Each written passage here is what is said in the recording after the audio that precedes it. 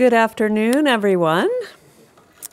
Thank you all for coming out on this lovely spring afternoon. And so nice of you to come indoors with us. Um, but we're here to help launch the exhibition, Liz Larner. Don't put it back like it was. And I'm glad you're all here to help us um, celebrate that occasion. Uh, I'm Mary Ceruti. I'm the executive director of the Walker Art Center, and I'm also the curator of this exhibition. So I'm especially pleased to welcome welcome everyone today.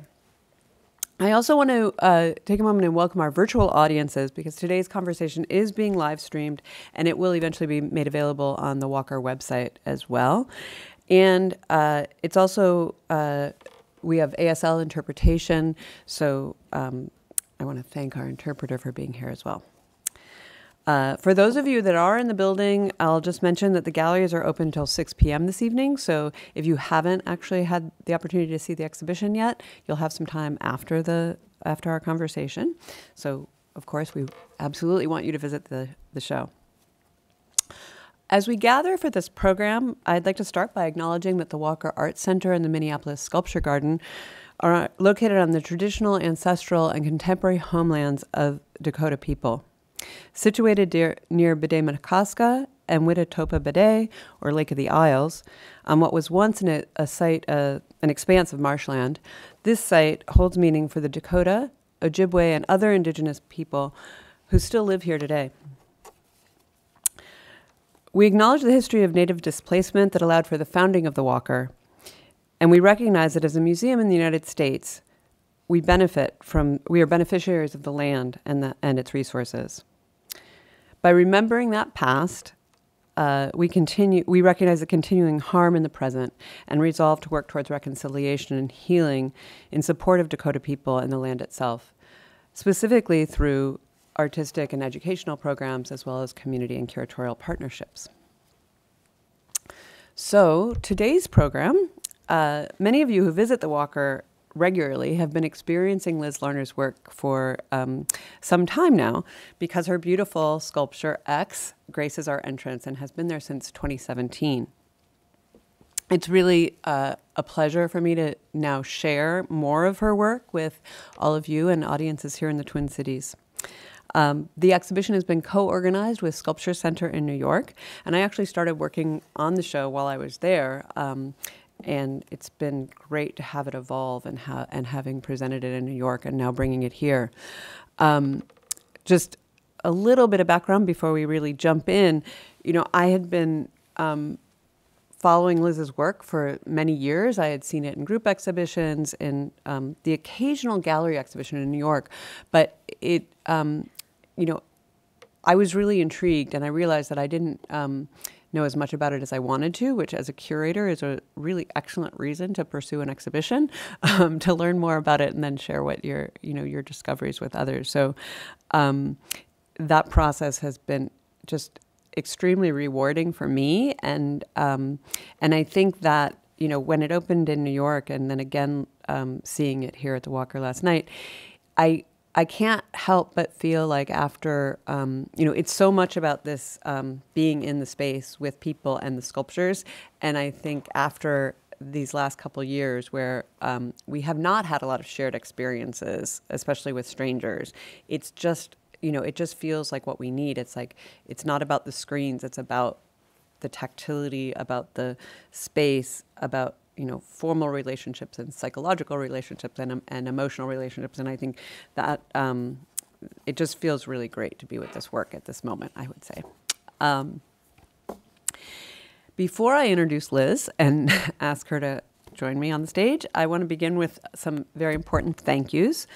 Um, you know, as I mentioned, the show was shown in New York in uh, January through March, and I really want to extend special thanks to Kyle Dancewicz, who's with us today. He is the deputy director at Sculpture Center, and he was an amazing partner on the project. He started working with me while I was still at Sculpture Center on the project, and then um, really became a, a curatorial, intellectual, uh, logistical partner in every possible way. Um, as well as shepherding the beautiful catalog, um, and just has really helped make the show a success. Uh, I want to acknowledge the generous support of uh, those who made the Walker presentation of the exhibition possible.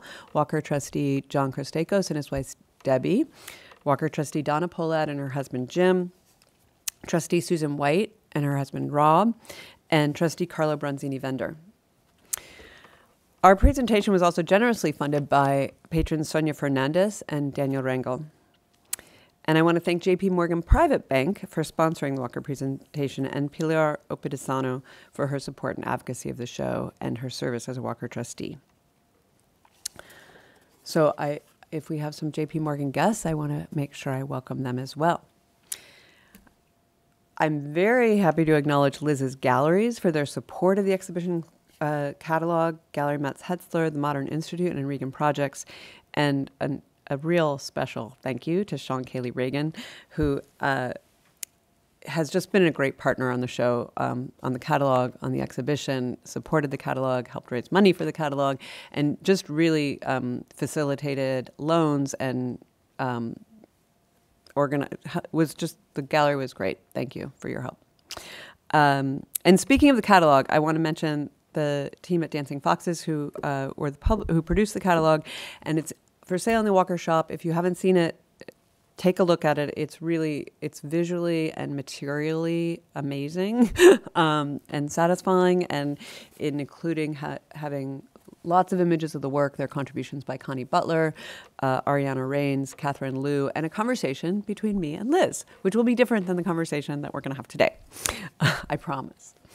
Um, and of course, I have to acknowledge the amazing, talented staff of the Walker Art Center who've made the show come to life here and will be, um, you know, interpreting it and sharing it with our audiences over the next few months.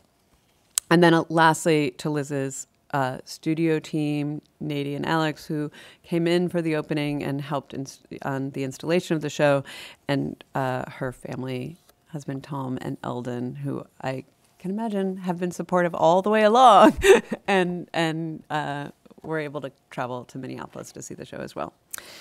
So, with all of that, now I want to come to the main event, which is to introduce Liz Larner. Uh, Liz was born in Sacramento in 1960, and she attended uh, California Institute of the Arts, uh, where she initially studied photography, and we may come back a little bit to that conversation before she really um, sort of committed herself in a major way to sculpture.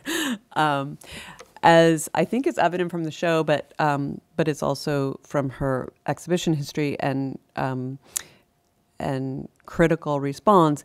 Liz is one of the most influential sculptors of her generation, I would say, and um, it's her work has been in major exhibitions and collections uh, the Art Institute of Chicago, the Museum of Contemporary Art Los Angeles, the Aspen Art Museum, Nasher Sculpture Center, um, the Whitney Museum of American Art, many, many more, including where she's been included in several biennials, Kunsthalle Basel. She really just has an extraordinary um, exhibition history, and um, we're excited to add to that with this show.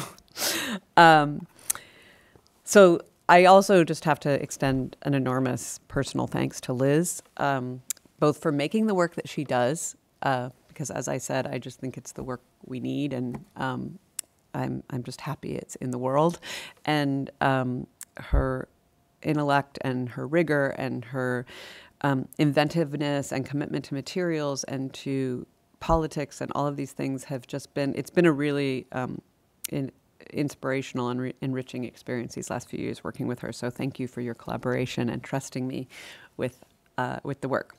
So with that, join me in welcoming Liz to the stage.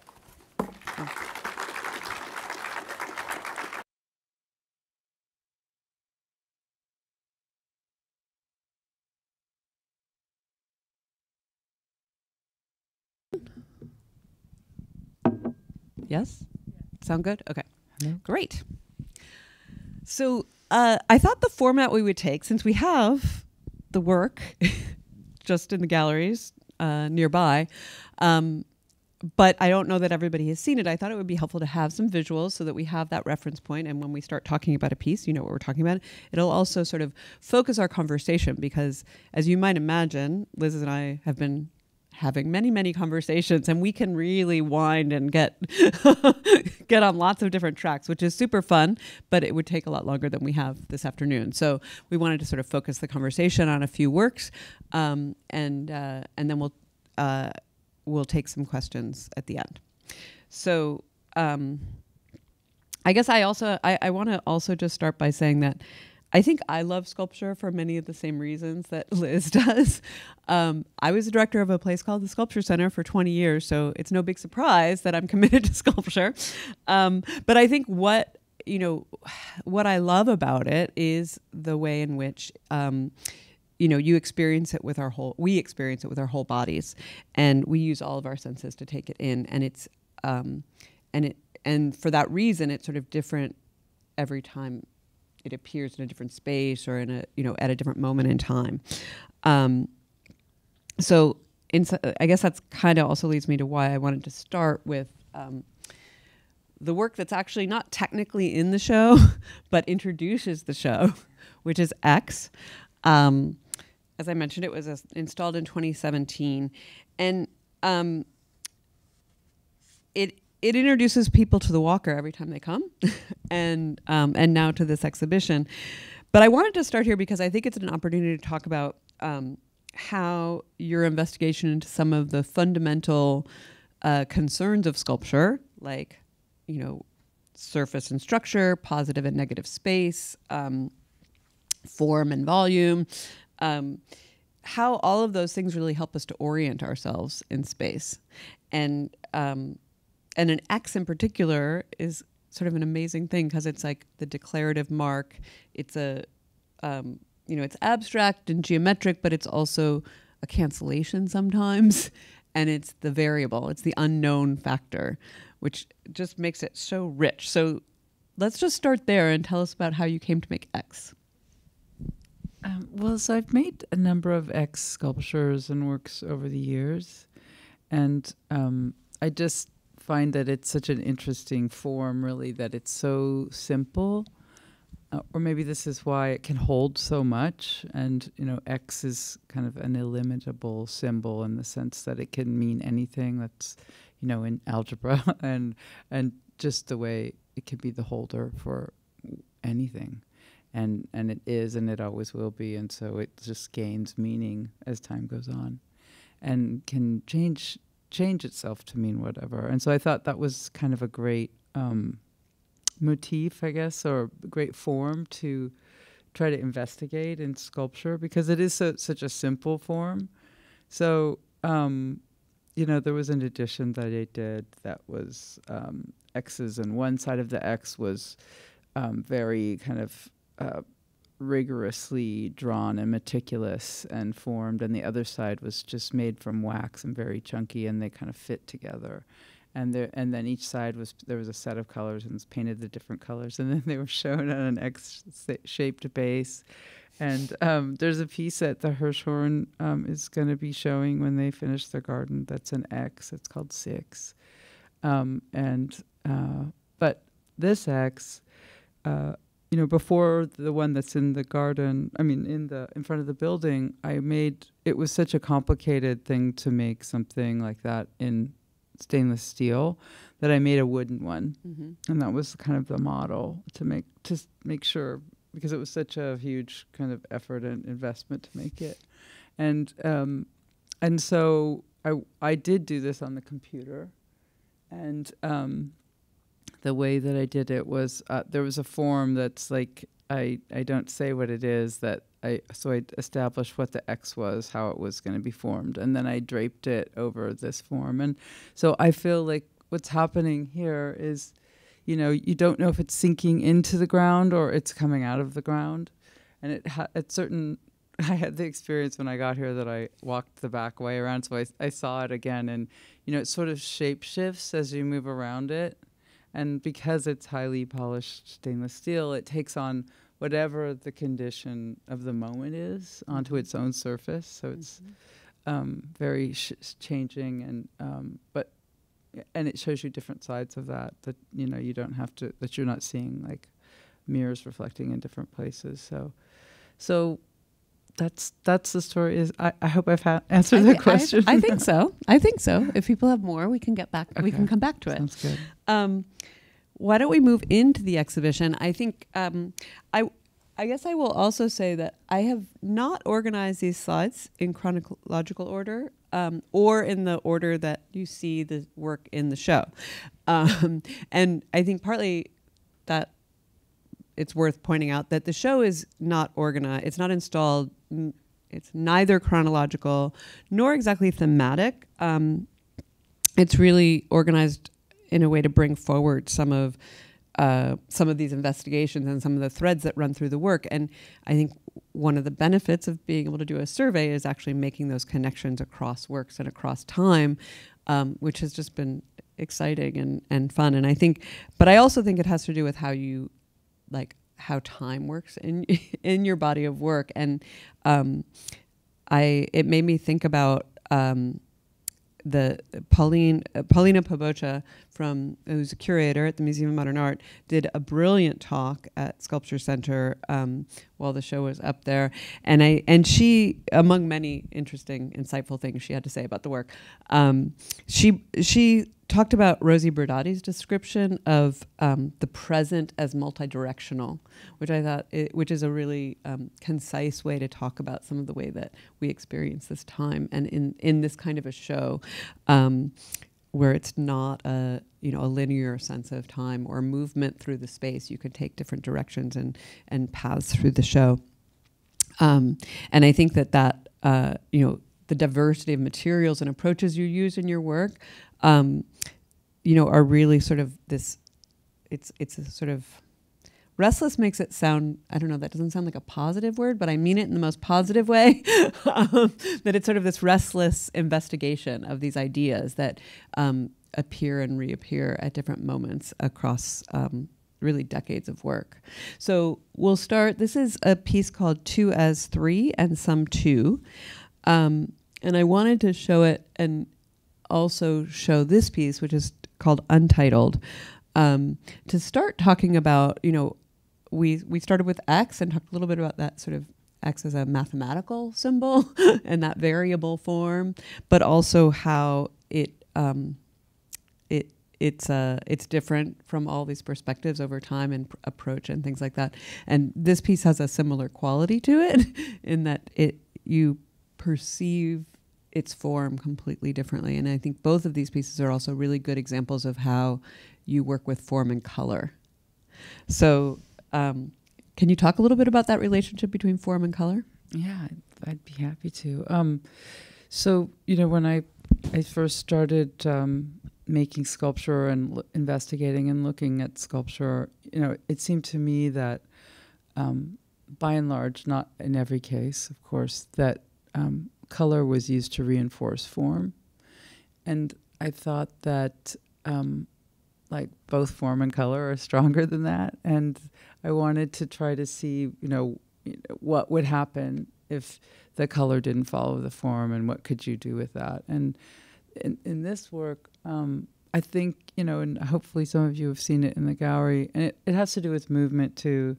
So in every position there's this it's kind of it's uh, one way I've described it before is you see the reality and the illusion of the piece at the same moment. Like it keeps switching back and forth. And so at some points you just see the two cubes, one resting on the other. And then the colors start connecting and making these other forms that become almost like and are in some respects just as real, maybe not as physical, but just as real as the two cubes sitting on top of each other.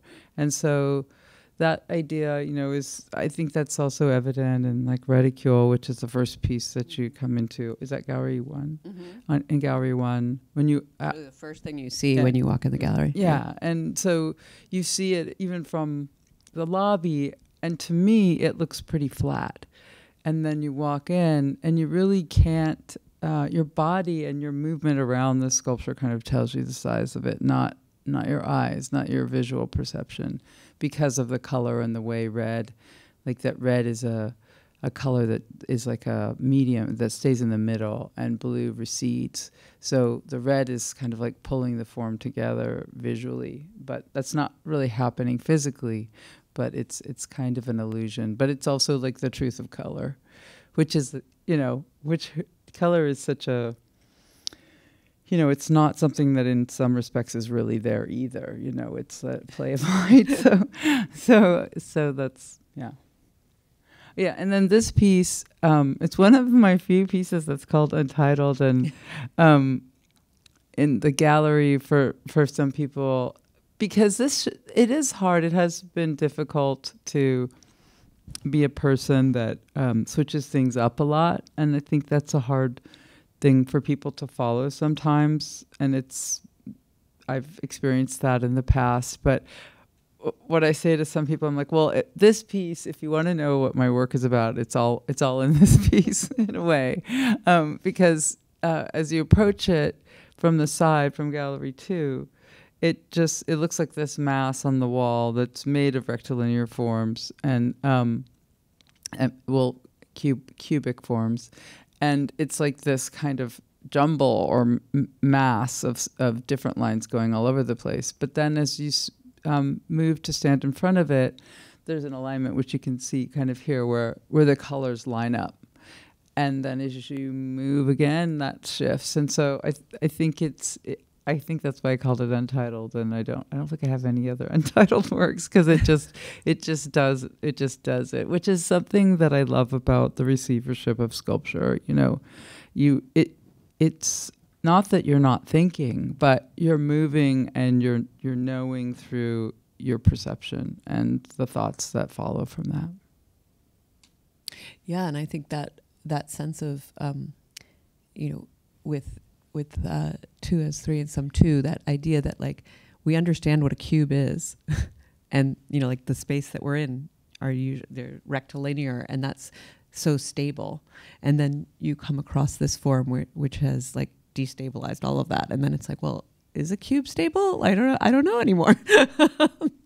Which well, the lines are all equal. They are all equal, but, but they're not. Um, uh, they're not in 90 degree angles to each right. other. So it's, I mean, I don't even know if it if it's technically a cube. I, I, I, mean, I think I think it is because of the measurement, mm-hmm. but you know, it, it, kind of it makes you question that, I guess. Yes, absolutely. So um, you were talking about these interlocking forms, which leads us nicely to guests. Um, which is a series of works. These, these, this is actually a detail of the one on the um, left yeah, left from here. so these are two examples. Um, there are actually four examples in the exhibition.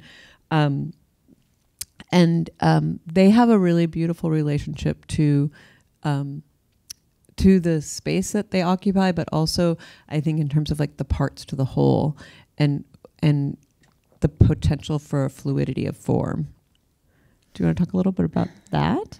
Yeah, so guess um, they they come in different. Um, they're all stain a welded stainless steel, and then they're plated with different metals. There's um, a, a, gold plated one, and a, well, actually, it's just two different metals with um, some different. Um, so it's gold, gold plated, silver plated, and then silver plated that is oxidized. So it it looks kind of blackish or brownish, and um, and then the sections are either round or square and so it's very it but in, in other respects it's the same pattern. And, and the thing that took the longest was to figure out the way to link it so that it wouldn't bind as a as a form. So it was a fluid moving um, mass.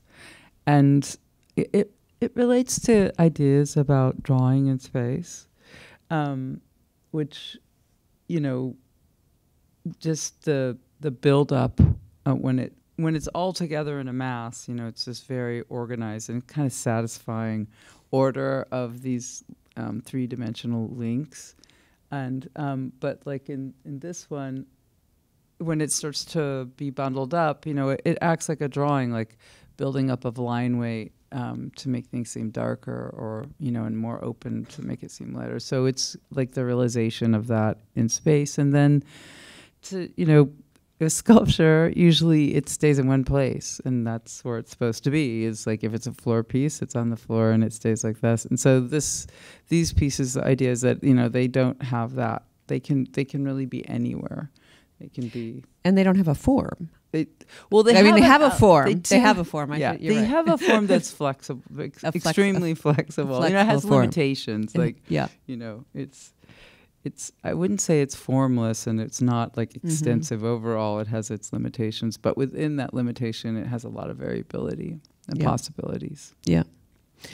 Um, and it is, you know, as you said, it's inter, it's it's interwoven. It's like a, a links of, it's like a three dimensional chain, kind of, um, which brings us back to actually one of the fir- one of the first pieces we see in the exhibition here, called Wrapped Corner, um, which is a piece that's made with uh, tension, so that you have two steel attachments to the wall, and then this is found chain that gets um, uh, wrapped across the two, between the two, around the corner, um, which I.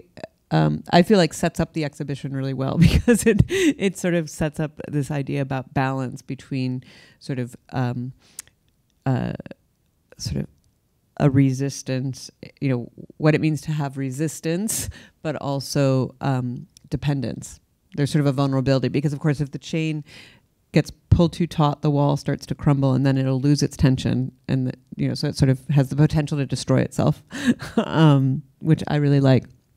And it, um, and I wanted to sort of talk about it a little bit in relation to Corner Basher, which um, because just as an opportunity to talk about corners, because I think that um, I mean we could talk a lot about all kinds of things with both of these pieces, but I thought it was an opportunity to talk about corners because it the you have found corners to be sort of powerful, interesting sites and have activated them and worked with them um, in the work, and I and I think you know I think about them as sort of marginalized in a way. They're also sometimes, you know, like people get sent, bad children get sent to the corner, right? not Um, anymore So I you, hope. no, I, I think, yeah, hopefully we already don't do have that that, anymore, but they used to do that. Um, but um, but you've embraced corners. Um, do you want to talk a little bit about corners?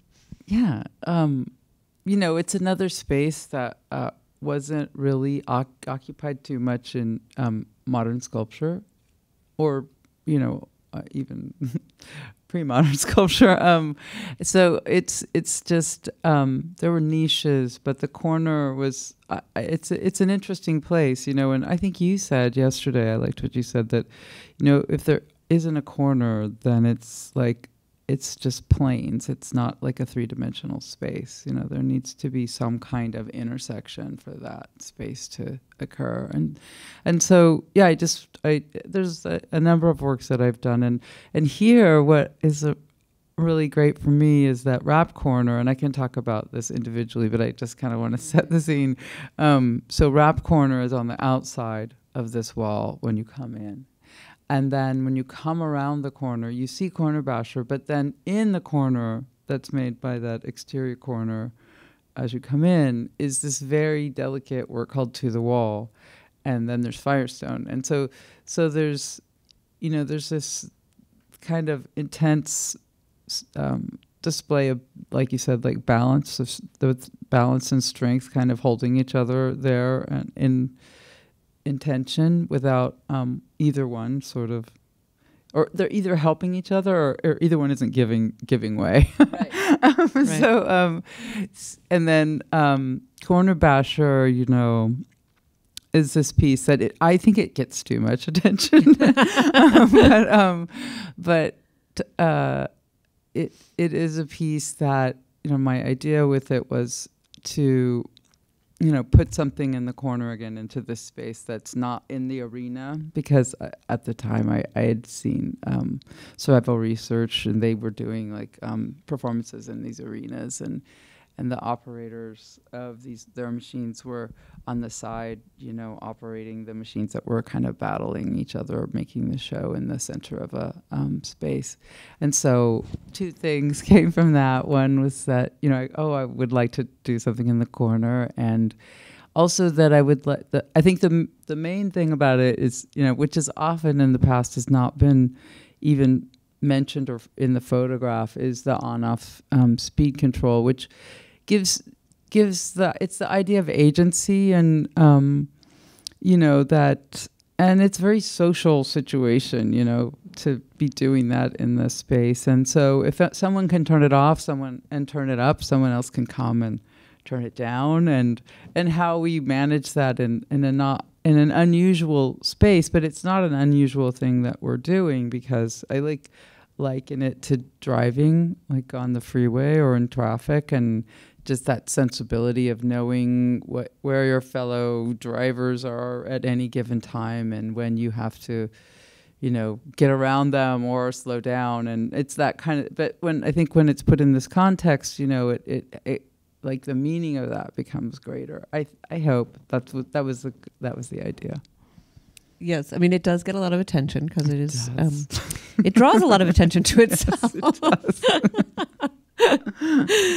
um, and interestingly, um, these pieces also share a space with Corner yeah. in our show. Um, and the, this is these two pieces are from a series of culture pieces that um, Liz was making in the late 80s and maybe even into the early 90s. I made when you saw that one, you saw it, Regen, it was made like in 2015 or whatever. Oh, so yeah, so you've been continuing to make them. I make them every once in a while. Every once in a while, yeah. Um, but I think these uh, these works to me are really important in a survey exhibition because I think they um, really speak to how you think about stability and process and materiality. um, so, would you talk about how you started making these cultures and you know what was interesting to you about that the um, the instability you know that relationship between process and stability? Um, yeah i think you know well it was it's kind of you know it's just interesting to me. It was when i realized it back in the 80s that um, you know these two terms the scientific terms were so um, in line with the cultural terms that you know it's called a culture and it has a media that's um, in it, and um, and uh, there's a there's growth which is called a bloom, and then there and so, you know when there and there's a life cycle, and uh, there's time time is involved and decay is involved eventually, and so this piece is kind of about that. Um, so every time it's put um, together, so we put it together day before yesterday. Mm-hmm. And yeah. um, it always has the orchid, buttermilk, and a penny. And the penny we tried to get and did. We got a 2022 penny. So the penny kind of marks um, the year that it, the these elements were put together. And um, there's always the fresh one that we make, and then the last one that was shown. And so there's, I just think it, there's a lot of, um, it's a lot about the body and not a human body as that, that subject, but that the, the sense of our um, our bodies and our lifespans Lifespan. and uh, and and decay and you know decay gets a bad rap in our culture um, it's essential to life and um, it's uh, literally like in um, plants and uh, and animals like i was just reading about this thing i think it was in I think it's in Minnesota or maybe about this Wolf Island where there's this island, I think it's in Minnesota, and they brought all these wolves there. And they realized that the wolves were doing a lot of good because they were taking the moose that were there that were old. And when the when the uh, wolves weren't there, there was this there was actually a die off of of the moose, and the wolves were actually helping that. But so just that idea, you know, and anybody that has a compost pile knows this. Um, you know what, um, you know what is thrown away if it's treated properly becomes the um, seeding ground for the next life. And um, so I think that that's kind of all in, in these these works, and especially in Orchid Buttermilk Penny, since you have both of them there. Yeah, I think um, that that brings us to the ceramics, and to my mind, that you know that does relate because when you th- we think of you know we think of ceramic as sort of this hard um, you know stable permanent material but really it is like it, it's the it's the result of a very very very long process of decay and transformation of material right? And then you know you're sort of taking the last step in its transformation when you actually form it and fire it um, but it's actually as a material it, you know is that is a product of that kind of pro- uh, transformation and um, so i'm sus- i suspect that's one of the things that draws you to clay but I think there are probably some other things that um, I'd love for you to talk about. And, and so, why, yeah, why are you drawn to clay, and why do you hang these on the wall? um, well, yeah, I mean, clay. You know, I'm really interested in color, and um, and so clay doing these pieces is a way for me to um, have a form. The forms uh, now it's been over 10 years that I've been using these kind of basic forms, and they're all pretty much the same size, but some of them are like the gray one is a caesura, which is, you know, the one with the break. And then the one that, uh, this one right here is a called a subduction, which, and that's a ge- geologic term. It's uh, when one plate goes under another. Mm-hmm. And, uh, and caesura is a a poetic term that means a, like a break, a break in a poem. So it's it's not two things. It's not a diptych. It's just a rupture within inside, inside one thing. And then um, this one, these are called calefactions, and they're the ones that are um, flat. And there's also one called, called mantle. We don't have any mantles here. That are just they're also just flat. So you know most of the names refer to geologic um, uh, terms and places within the strata of the earth. And um, calefaction means produced by heat, which you know mountains and you know geologic. But but these these so these stones are uh, embedded into the wet clay and then fired. So the kind of result is due to calefaction, and same with glaze. Mm-hmm. And these are these two are um, earlier, and I didn't I wasn't always using glaze. I was using, and I still do sometimes use epoxy um, with pigment in them. But uh, I w- felt more sure of that process than glazing because it's such a tricky thing. I had to learn a few things before I really started. But now I'm mostly glazing. Fantastic. I think you bring oh, up I didn't color ask. again. I didn't answer why I put them on the wall. No, you didn't. Do you, why don't you answer that? okay, I'm gonna try. I just remembered you asked me that. Um, well, I, I, you know, I wanted to put. I mean, I don't think that. Um, I I think it's great when sculpture jumped off the base and got went onto the floor, but it's been on the floor for the, a while, and the wall is a space that I think sculpture can occupy. And and I don't really I don't really say, and I'm not sure I really know um,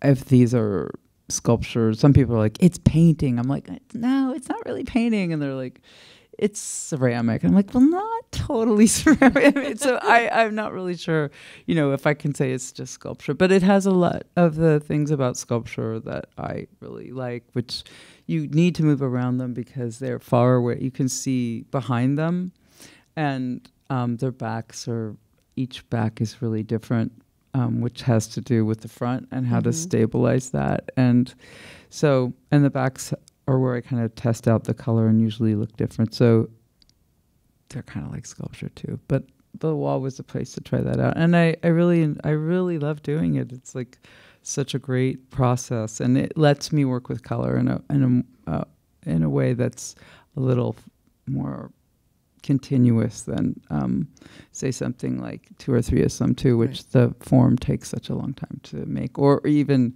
planchette. The, the I painted planchette in one day, but I took like a year almost to make it. So the form. So this is so we're talking about planchette. It's a it's a showstopper, I'll say, um, and a shapeshifter. um, but I, I like the way you led into that because it um, it is also very much about color. Um, it's a it's kind of a mysterious color. It's enigmatic. It's also but it's also the form the shape is also enigmatic. Like you can't is it convex? It's concave. It's all of those things, right?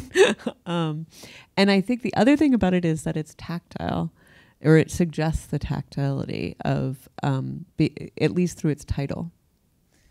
yeah. So I'd love for you to, t- you know, a planchette is the object that people use in a séance or on a Ouija board, you know, and the touch of the hand, you know, connects to the spiritual world. And I think that is such an interesting um, way to think about this piece. Yeah, planchette I think means little plank, like just straight up in French, but um, but it is what the the that object is called on Ouija boards that it, like the group of people put their hands on. So I always like that idea that it's like it takes it takes more than one person to like you know get these you know set, what answer these questions this in this method, but um, but they're oftentimes too um, shaped like hearts. They Yeah. have this certain kind of shape, so the shape is a little bit reminiscent of that. But then you know they're flat; they're not curved, and so so you know the I, the whole shape itself hopefully looks. And some people have told me they found it to look like it's kind of uh, becoming. Mm-hmm. It's in the process of becoming something else while it is itself, and you've said to me, you know, when you saw it, you felt like it was dancing in the crate. and, um, you know, it has a sense of movement, even though it's a still thing. And uh, there was a great question. We did a, a, a like a walkthrough with the teens. Mm-hmm. Tell me their official name. The Uh, Walker teen. WACTAC, the Walker Art Center Teen Arts Council. Yeah, and um, it, the whole show wasn't up, but that piece was up, and um, um, it was like the best question I think I've ever had about this piece. And this one young woman was like, "So, what color is this?" Like, "Oh, I love you. That's such a great question. I'm gonna remember that forever."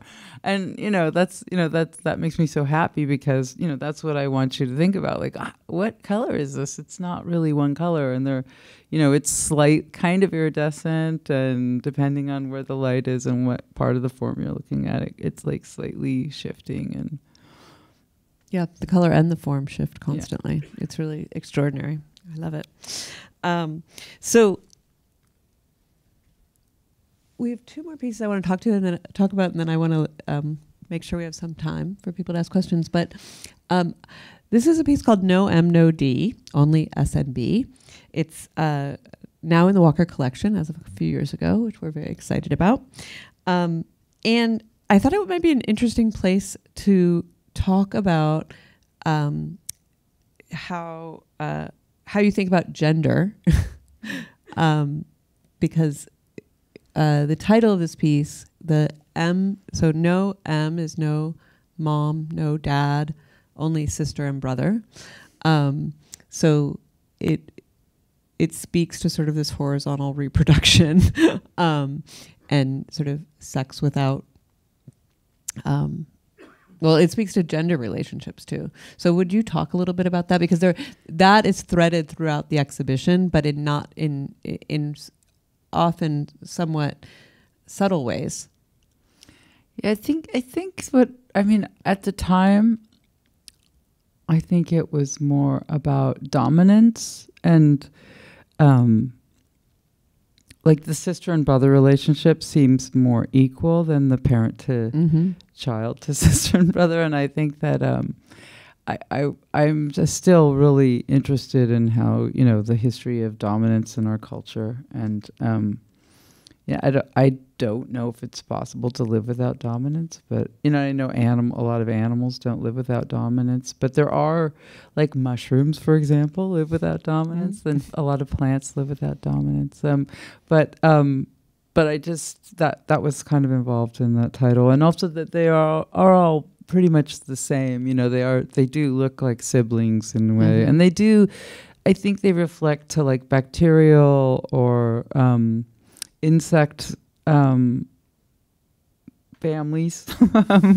um, you know that that it's a different kind of reproduction, like the way that worms reproduce re- reproduce, Mhm. and Mhm. um, you know, kind of. Uh, like that there's just this different relation so representing like another kind of order that is not our our order Mm-hmm. and giving that um, some space. And I'm really interested in, like you mentioned, Rosi Braidotti and this idea um, that's called the post-human, which I think you know is um, and its ideas about the Anthropocene and um, just the and what's happening kind of in some parts of our world in terms of a big shift really from the Enlightenment to um, acknowledging other life forms. Like we've dominated, or we've tried to, and, and felt we needed to dominate all the other life forms on the planet, and um, and that you know minerals and everything in the earth and any animal is like there for our use, and so it's like a shift in terms of the re- kind of respect for different kinds of intelligences and um, not necessarily trying to like not put humans at the top of the hierarchy and, and it's like a whole cha- way of thinking of changing that those kinds of relationships which i'm really interested in. I, I don't say that i'm like I, I i'm fully there but i love thinking about those kinds of ideas and reading about them. And i think this is like an early work that um, before i realized that that there was this i don't even think that had really begun. It was more like something that happened in the 2000s and it's kind of a um, it's it's very big in in different philosophy and humanities departments this kind of thinking. And and um, so yeah. Okay. Um, Will, I, I want to then end actually with, even though we've not been doing this chronologically, this is the most recent work in the show. Um, this is a piece called Firestone. It is uh, ceramic, and it um, it returns this representation of the female form that we haven't talked that much about as we've looked. But if you walk through the show, you will. Um, there are uh, both references to the body. I don't want to necessarily always call them representations, but well there um, is a fully references. realized figure in the show as well yeah Yes, there is. There's a fully realized figure. There are parts of figures which we haven't really focused on in these conversations, but I think it all sort of like winds back towards this piece, which um, does actually reference a reclining figure yeah and a mineral and a mineral, which I think is um, that's actually yeah exactly. I think it, the way that you return to the female figure, you found a female form at a mineral show. yeah I Tell us about that. Yes. Well, um, I have I had a public art um, commission, and it was in Colorado, and I decided that I wanted to work with um, stones and minerals from Colorado for the piece. It's called Public Jewel, and it's on the Federal Plaza in Denver. And so I I had to, you know, it was not something I knew that much about, and I needed to find some help, and I needed to find out about minerals in Colorado, and so I and I wanted to find a geologist that I could work with there, and so um, Suzanne Felsen, who was here last night, had to go back, but um, she's a jeweler and um, someone that I've known, and um, Karen Hillenberg told me to meet with her, and she told me about um, this the largest gem and mineral show in the United States is in Tucson. It lasts for like six weeks, and it's in the winter, and so I went, and uh, there I was able to find. Um, connections to people in Colorado that I eventually worked with, and um, but I also they had a show there that was um, it was all of the minerals in Col- in um, Arizona, and then those minerals from different parts of the world, and that was like in the main um, hall, and um, it was really fascinating because like like the the um, so there was hematite is and hematite is an interesting mineral because it's always found with iron and it is iron. And um, it can be many it can be red it can be the, I, you've probably seen the kind of silvery black hematite. Um, but there was this one so there were all these different hematites from all over the world. And one of the things that was this is just an aside, but one thing that kind of blew my mind at the show is that um, so the there was this hematite in um, Arizona and it was red, and a, a lot of hematite has um, most hematite is hexagonal in form. And then there was this other hematite. It was from Scotland, and it was kind of wispy. And It looked like it had just come from the moor, which I just thought that was so. Uh, maybe it was a coincidence that that was what they used, but it's like, oh, it looks like the place that it's from. But I, I saw another one that was um, this form, and it really looked like a reclining figure. And so you know, I I didn't ha- I so I kept that in my mind and then worked on this other piece, but eventually decided to make this piece. It was basically a combination of a reclining nude and a and a hematite crystal, and that's this. And it's realized in uh, in um, ceramic, glaze ceramic. And again, it brings us back to sort of the parts to the whole, that Yeah. it, it's pieced together from these different tiled sections, which I think um, you know, it's another thing that like we see recurring throughout the show, but in a whole different way. Yes, it's the- another very complex puzzle that that took a very long time, much longer to make than I had thought that it would. Um, but yeah, yeah, Yeah. I, I'm, I was really glad to see. I really love that combination of it and Corner Basher and To the Wall, and that's it's like I we got to get a good picture of that. I really love that. yeah. I, I think I'm sorry we didn't put a picture of to the wall in the slideshow Oh, because I think okay. that juxtaposition is also quite strong because it's sort of, um, I think equally it's sort of to the wall is a it it has that sort of vulnerability and delicacy, but also quite strong because it's made with that annealed steel and.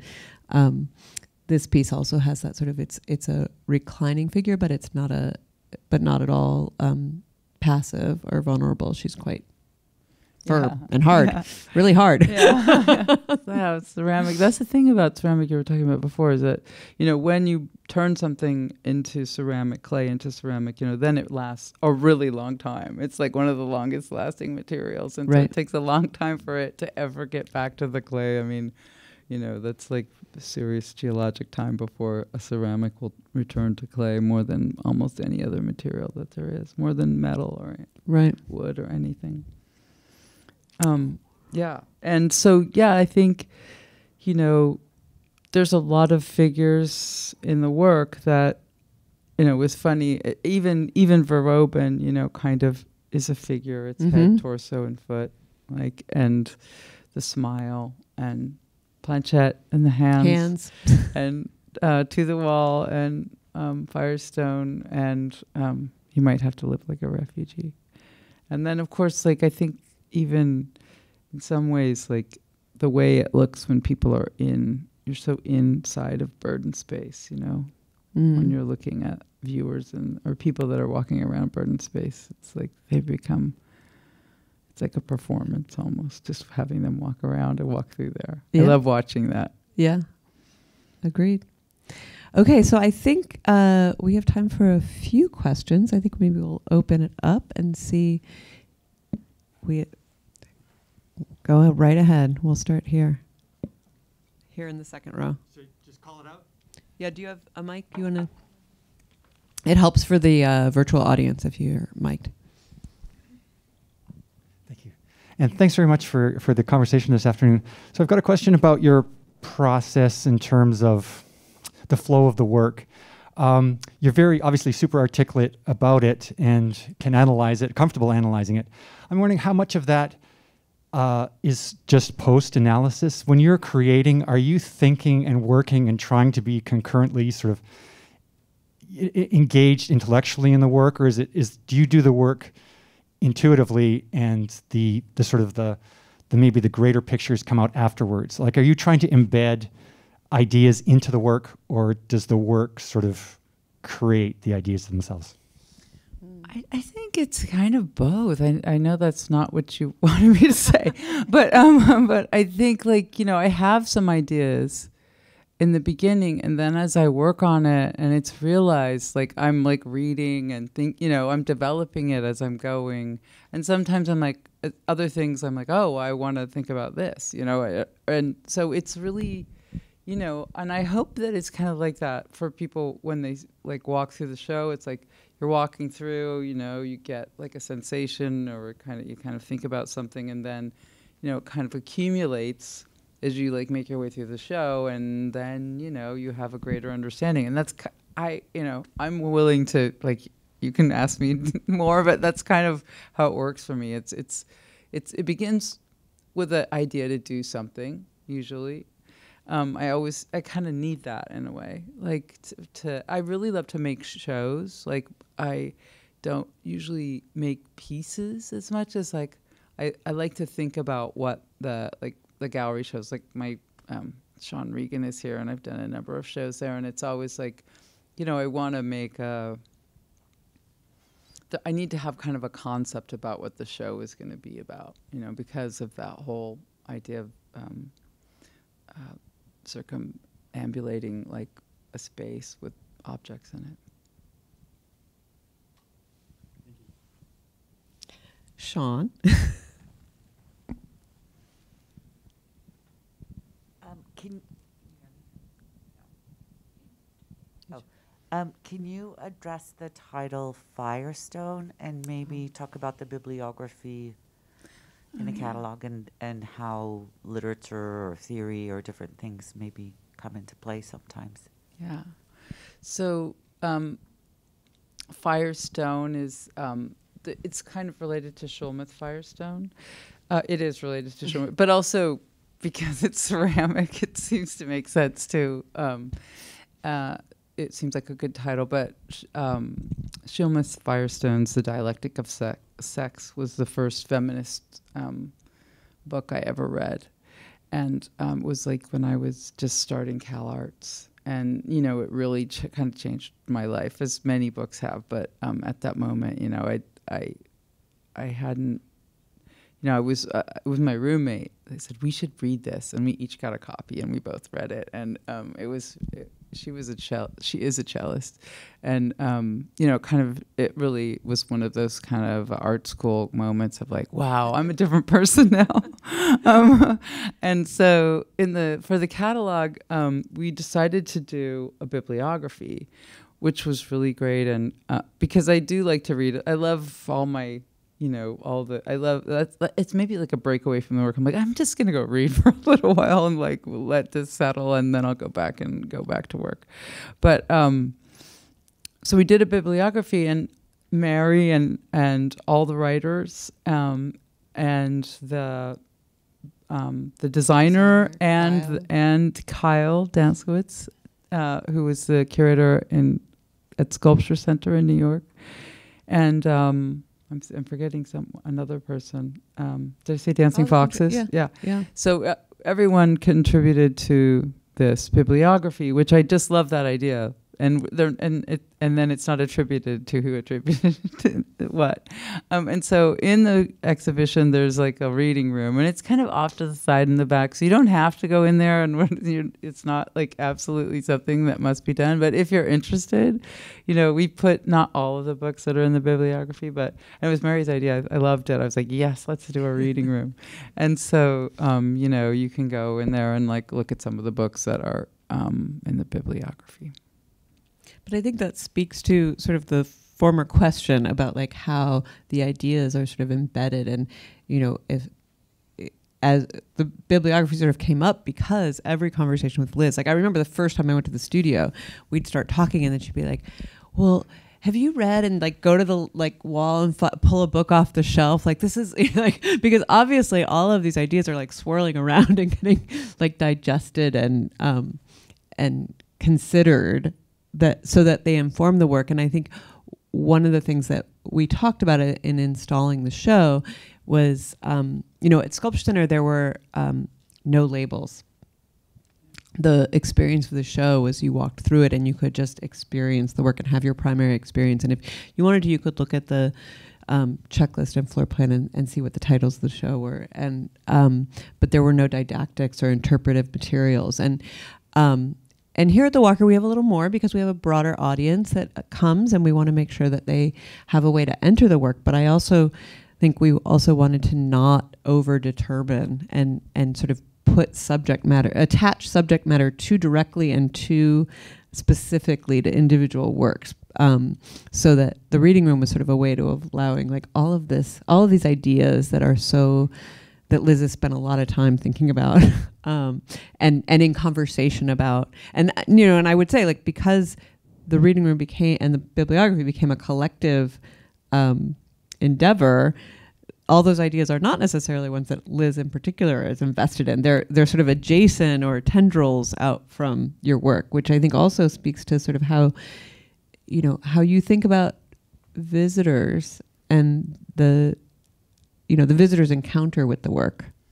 Yeah, it's true. Like there's some books that I didn't, you know, um, pick there, and it it is like that. It's like uh, you know, and I oh, I I love the idea of you know, it's being an artist you know, you want people to come and see your work and have their own experience, you know, at least I do. I think most artists do really. And that that's what's valuable and you want to if you can you it's fun to hear what they think instead of telling people what to think. I mean, I know I'm here now and we're talking about our ideas and everything, but honestly, it's like the viewer's experience and and whether whether you know the the ideas my ideas are communicated through the work or not, I think it's still you know, it's still a reason to put it out there, and um, you know, the, and then there's like, you know, it brings things to the fore, and um, you know, it's a place of you know of uh, encountering new uh, kind of ways of uh, it's not talking new ways of thinking together i guess you know and i i it's really wonderful to be able to you know, I like being an artist and I like my studio a lot. I realize that it's been great being here and installing, but one of the things it's made me do is want to go back to my studio. Um, and um, but uh, it's also really incredible to get to show your work. So, yeah, and other people are a big part of that.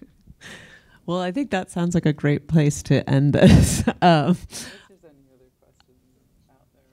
is there another question out there?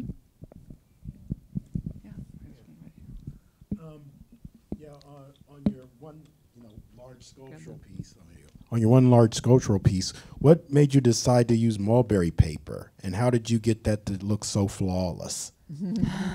Thank you. Uh, I I think it's I used mulberry paper because it's really strong, and um, you know that has it's got an interior armature that's made of aluminum, and so rather than like we're talking about planchette. Yeah, we're talking about planchette, right?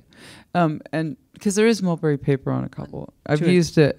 Yeah, on two screens, some two that's mulberry paper over steel, um, but mulberry paper is very strong and uh, moldable, and it's it comes and you can get it into some pretty thick sheets, and so you know once I had that basic armature, you know it's it's instead of using clay, clay would be much more fragile in a way than the paper. And um, and then there's this uh, glue that lots of um, conservators use, but that's a great glue in bookbinders. It's called um, methyl cellulose glue. So that so I would just you know find the area, cut the basic shape, and uh, apply it, and then it was just about building it up to this to the, get the form that I wanted. And there was some sanding. You know, you can sand it once it gets built up. So it was like it's it's like it's almost like a very thin piece of wood, flexible piece of wood. And it does have a. You can see the like. You can see in. It's not super. It's not like a. It's not like X. You know that surface. It does have like a kind of little nubbly thing going on, but I I like that. It has some texture, but I also think that um, it's one of the remarkable things about that piece is how, you know, that relationship of surface to form. Like it doesn't feel like a surface. It doesn't read as a as a paper surface. It well, feels integral to the form. it is. the form was very thin, so it is definitely integral. Yeah. Yeah. Yeah. Yeah. Okay. Thanks. Um, so you were just talking about uh, books and specifically, you know, reading that book in college and having a sort of revelatory experience where you're changed and thinking in a completely different way after that. You weren't put back the way you were before reading that. And so, in terms of the title, maybe this is partially you, but also curatorially, Um, could you speak about the intention of the titling? The title of the show in particular. Yeah, I mean, I think that you, you kind of got it. That's well said. That, yeah. that was pretty well said. I think um, it came out of conversations I think Liz was actually having with Ariana at the time, right? I mean, Um, I remember going back and forth on multiple titles. There were multiple working Yeah. titles over the length of the show. But I, I remember you brought it forward in a conversation. Um, and then we kind of, there were multiple texts that went back and forth about it too.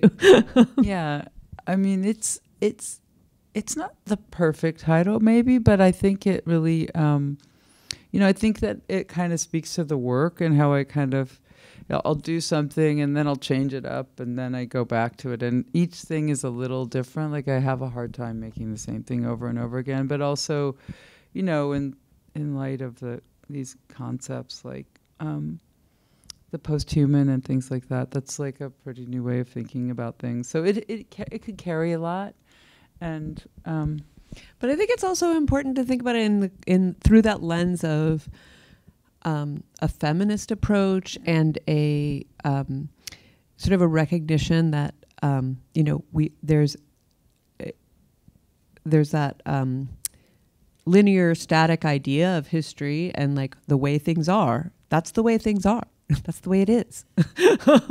but in but I think when we talked about you know going back to the X sculpture, it's like it's different all the time. It marks you in a time and a place, but it's all but each moment is different, or each time the sculpture is in a different place, it's different. And I think that um, it's it's sort of a record. I I think what the thing I liked about when we got, when we landed on this title was um, the way in which it it suggested that just because things have been a certain way, we don't necessarily want them that way, and that there's the possibility of other ways.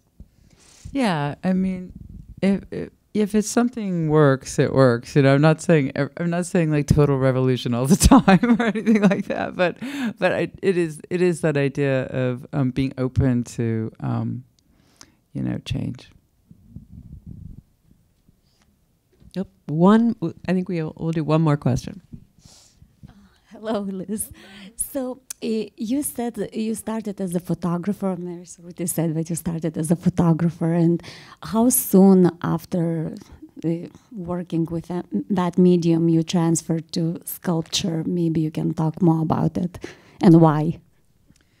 Um, you know, I, I I was getting my degree in photography at CalArts, and um, uh, the the photographer who had also graduated from CalArts like five years before that. His name is James Case James Casebere. I don't know if any of you know his work, but he does these. Um, he makes these kind of really elaborate models of spaces, and he lights them, and then he takes a photo. It, well, back then it was with a four by five, probably not anymore. but um, so I I became his assistant in my last year there, and um, I and I it had been occur- occurring to me that like I mean I I mean I love photography, but um, I was really I had like done some kind of installation-y stuff with with photographs and some sort of experimental stuff. Like I did a piece um, that last year where I had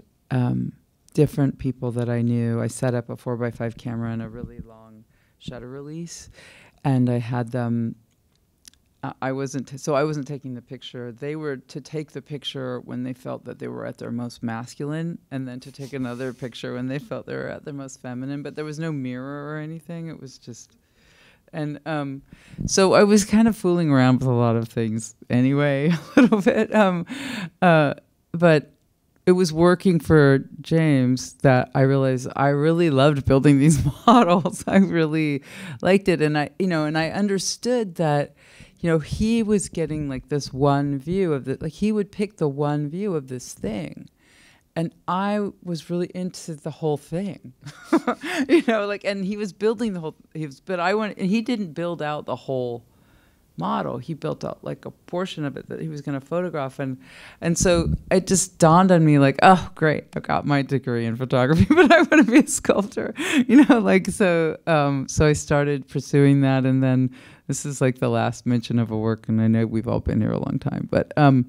so it was a, it was kind of a hard transition. And one of the first things that I made was I got this bucket and I put um, everything that you needed to make a oil painting in this bucket, but not in the right order and not in the right amount. And so it was just this thing. And um, I took a photograph of it, and um, and then um, this piece that's in the show now used to do the job.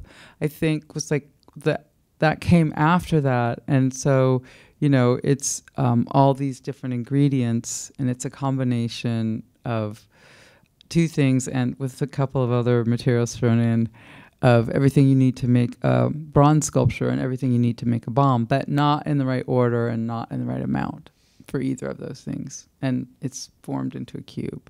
So, you know, it was like a slow, it was like a slow process. And in the catalog, you'll see uh, one of the last photo pieces that I did. It's with Catherine Liu's Mm-hmm. essay, which is again, it's just, it's like n- about totally don't put it back like it was. It's Yeah. so funny. that's when I look at it and I'm like, oh yeah, there it is. So, so that's what happened. Had to get out of the frame and Well, walk we're around. really glad you did. Thank you. Your contributions to sculpture have been immense. Thank you. Okay, with that, I think we're going to wrap up. I want to invite everyone to go into the galleries. As I said, they're open until 6 p.m. So please, if you have not seen the show, please visit it. And even if you have, now that you've heard Liz talk a little bit more about it, perhaps you'd like to go visit it again. So thanks so much for coming.